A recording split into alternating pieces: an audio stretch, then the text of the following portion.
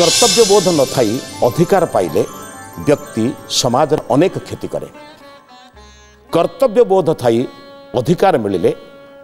ପ୍ରତିବର୍ଗର ଲୋକଙ୍କର କଲ୍ୟାଣ ହୁଏ ଆସନ୍ତୁ ଅଧିକାର ସହିତ କର୍ତ୍ତବ୍ୟକୁ ସଂଯୋଜନା କରି ସମାଜର ଉପକାର କରିବା